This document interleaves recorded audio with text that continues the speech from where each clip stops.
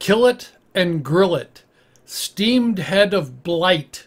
Welcome to my channel. I focus on tabletop role-playing games, video games, and science fiction. In Dungeons and Dragons, a blight is an awakened plant with the power of intelligence and mobility. The monster manual explains where they came from and that they're a um, it, it, where they sprouted from the, the a stake that was driven through a vampire. Um, but blights are an interesting creature. They're not very dangerous. They're normally only like a one eighth challenge rating, so they're fairly simple to to kill. You could, but there could be a large number of them. But what do you do after you've managed to slaughter all the the um, blights? Well, this brings up an interesting question, at least in my mind. I don't know about you. So, the definition of vegetarian is a person who doesn't eat meat and sometimes uh, other animal products, especially for moral, religious, or health reasons. That's one definition I found on the internet. So, can you be a vegetarian and eat an awakened plant? And, and then, then, we get into vegan where you can't have um, you, you don't use animal products. The, the, the, these are both shall we say interesting questions. I'm um, an omnivore with carnivore tendencies. I like meat and but i'll eat just about anything. There are a few things i don't like but i'm sitting here going could a vegetarian eat a blight and we'll we'll talk about this in a minute. So there are three kinds of blights that it described. There's a stick blight, a vine blight, and we're going to talk about the needle blight. And the reason we're talking about the needle blight, the vine blight is described as a collection of vines. They don't really have, they're, they're just all vine type things. And the stick, stick one is too dry it's uh, too sticky. But the needle, but the needle blight is like it has a, a body and it has a head. So we're going to talk about cooking the head of a blight. The reason uh, body is, is is a big mass and it, it's more like the trunk of a tree where the head has some other parts which we'll talk about in a second and it allows us to something that we could actually consume. Um, so you cut off the head of the blight and um, as pictured in the fifth edition of the DMG blights have eye holes and nostrils and a mouth. Well they don't actually eat they consume blood through their roots. That's what the, that's how they kill. They kill and consume the blood of their victims through the roots. That's described, but doesn't explain why they have a mouth and a nostril. This is probably just um, anthropomorphic uh, imitation of uh, the vampire and such that was which was the cause of the blight. But these parts are going to be uh, are holes in in the head.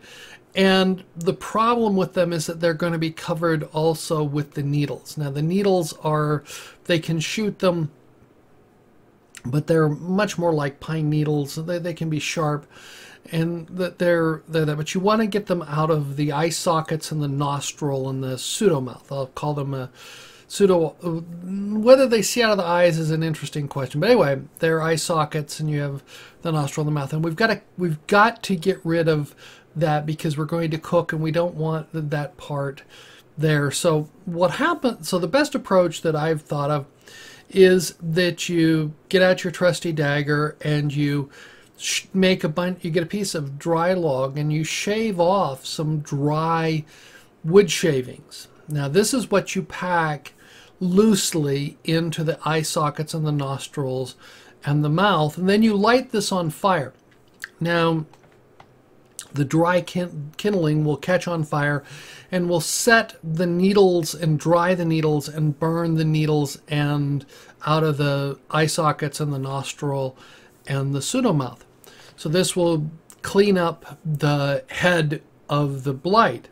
Now, if the area is particularly dry or there's been um, uh, a drought in the area, then the whole head of the blight may catch on fire when you do this. And if it does, you probably just should let it burn because it's not worth the effort because if the if the blight's head is so dry that it catches on fire after burning these out, it's not going to be very tasty. So that's sort of one way to immediately know if you've got a head that's worth cooking or not. So after you after you've managed to burn out this, then you want to take either uh, an axe or or uh, you can do it with your dagger. They're not really that tough, um, but you need to cut. You want to split the head and you want to split the head right between the eye sockets so you can get in and scrape out. You want to scrape out all that bur those burnt needles and the, the burnt part of the blight head. So you've now got this head split in half and you want to get out all the dry needles and such out of the, the nostrils and so on. So now you've just got this nice head. Now you want to off the top of the head, you want to cut off any needles or something, so you're just down to the woody exterior of the head, and you've cleaned out the that. Now wash it off carefully. You need to get rid of any of the sap that could be there. The sap tends to be somewhat bitter. I mean, it will come off in the cooking, but it's best if you can wash off as much as the sap. Now, get a large pot and you fill it with water and then you want to add salt so it's a nice salted water. And if you've got some some bay leaves and some peppercorns will will help enhance the flavor. So you bring the pot to a boil and then you slide the halves of the head into the pot.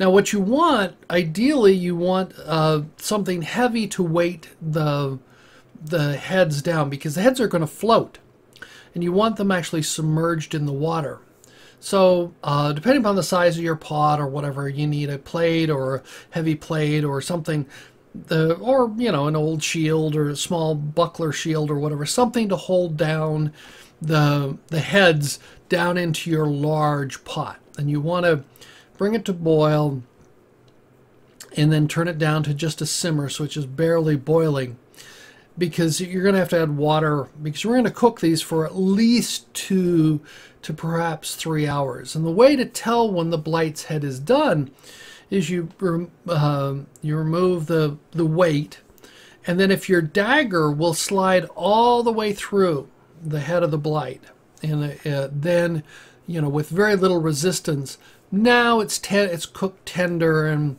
so on. So now you can take them out of the water perhaps let them rest for a little bit because they're, they're so hot at this point in time. They're not good to eat. And um, I would serve them with uh, melted butter mixed with with, with uh, smashed or, or, you know minced garlic, so that you have a little bit of a garlic flavor. Sprinkle them liberally with salt.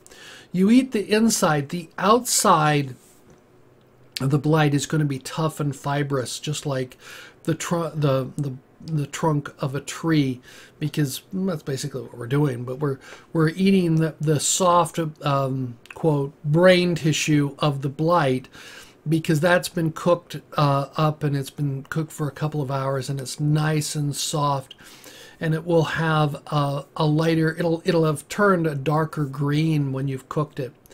And you uh, taste this. It's got a wonderful woody uh, taste with a little bit of peppercorn from, from the, the flavor of the, uh, the peppercorns that were added there. And with a hint of nuts it, because it has this nutty, woody flavor that is quite delicious. And so what happens is that you you tend to eat up in, uh, the, the pieces there. And if you're cooking for an entire party, you may want to cook. Um, you know, uh, half a blight head is good for, shall we say, a normal person. But if you've got some fighters in your party, you may want to give them a, at least a whole head, or if they're really hungry, maybe two. So you you know, depending upon how many attacked your party, you can slaughter, you can cut off their heads and have a nice blight head feast. with this. Um, you may run out of butter unless you've got a lot of butter, or, there, or there's a farmer nearby with this. But it's it, this this turns into a nice, somewhat healthy. I mean, it's not it's low fat. Um, you know, is is it vegetarian? That's an interesting question.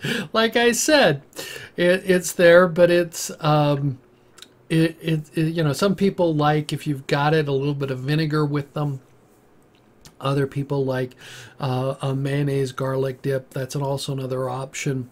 But it it's the it turns into a very tasty meal. It's quite filling. Uh, one downside to this um, is like many products like if you've ever eaten cabbage or broccoli or cauliflower, these tend to increase uh, the occurrence of flatulence. So you could have a scene reminiscent of the scene from Blazing Saddles or with everybody eating beans after you've eaten some blight. So just be prepared for that. Um, it's a tasty meal. Um, give it a try. Tell me what you think about that. Would you be interested in trying blight?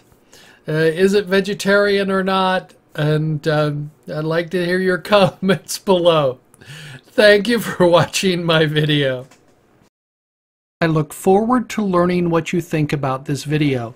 Let me know in the comments below. If you like the video, press the thumbs up button. You can subscribe by clicking the link in the lower left if you are interested, there are links to more content.